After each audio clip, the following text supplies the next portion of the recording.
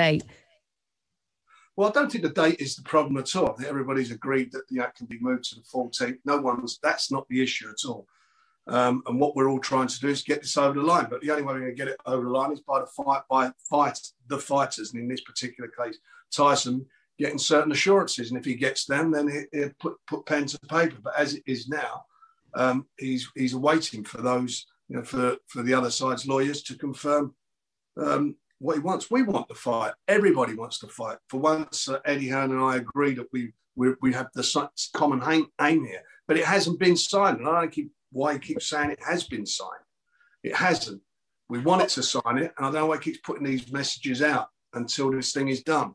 You, you mentioned you mentioned uh, Tyson there, then Frank. I'm guessing you wouldn't count them major obstacles. They sound as though they're, they're minor obstacles. Because I also heard Eddie say that AJ was getting frustrated with Tyson. Well, he, I couldn't give a monkey's whether he's getting frustrated with Tyson. We're getting frustrated. If you, I mean, you only got to look at the history of this. Going back over what four months now, every day we were going to receive a contract. Every day it was being announced.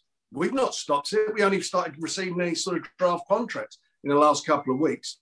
So, you know, we're, there are things in there that have to be agreed by both parties. And the bottom line is, as I say, we want it to happen, but there has to be certain assurances. And I'm not going to go into the detail, but there have to be assurances given and confirmations given that, that, that, that, that Tyson is happy with.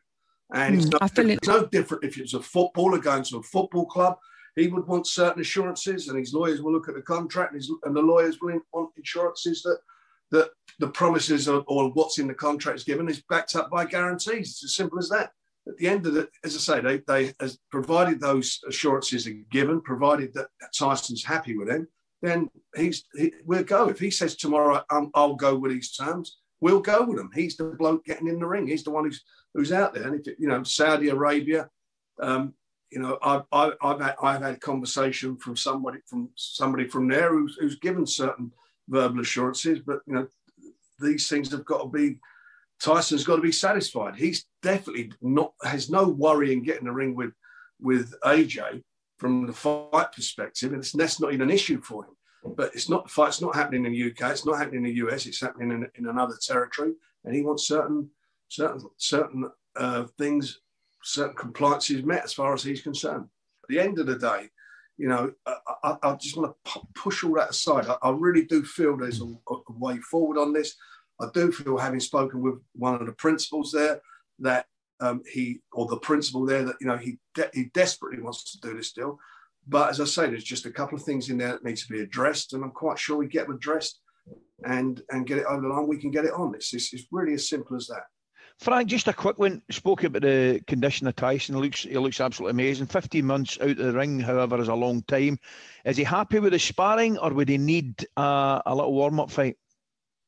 No, there'll be no warm up fights. So they'll go straight into this fight. Um, you know, he's, he's, he's been doing lots of uh, training. He's had he's done some sparring.